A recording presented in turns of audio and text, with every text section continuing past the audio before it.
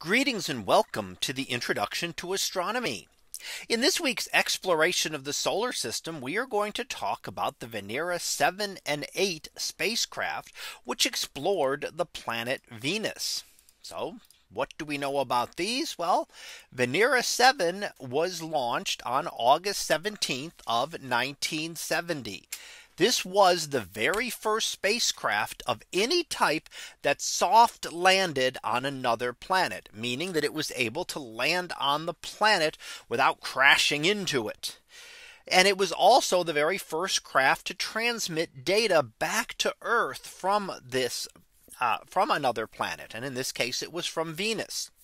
Now one of the problems with Venera 7 and we're not exactly sure but it possibly thought it's to have landed on its side.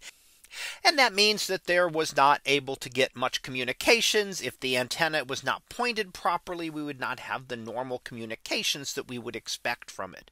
But it was the first time uh, that another craft was able to land on another planet and transmit data back from the surface. Now a couple of years later, well, maybe a year, say a year and a half or so later, Venera 8 launched in March of 1972 did also soft land on the surface of Venus and survived nearly one hour, about 50 minutes. And it was able to determine that there was sufficient light there that photographs of the surface would be possible. Now we didn't know how much light would get through to the surface. If you remember Venus is completely shrouded in clouds and we did not know how much that would block out of the sun's light. And you imagine here on Earth on a very dark cloudy day, not a whole lot of light gets through.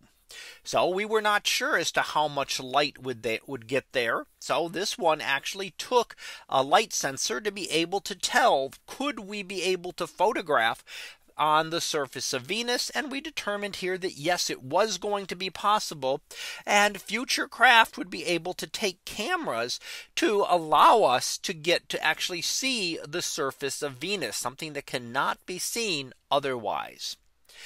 So let's summarize what we learned from these two spacecraft. And what we said is that Venera 7 and 8, they were the first craft to soft land on another planet. Now, of course, we had already landed on the moon, but another planet. This is the first time we had others ever soft landed on one and sent back data from the surface. They were able to confirm that the atmosphere was clear near the surface. We did not know how cloudy it would be and how bright it would be near the surface. So we found out that it was going to be clear and that there was going to be sufficient light to be able to photograph the, the surface. However, the craft survived only a very short time because of the extremely harsh conditions present on the surface of Venus.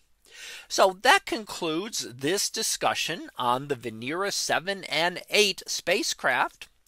We'll be back again next week for another exploration of the solar system.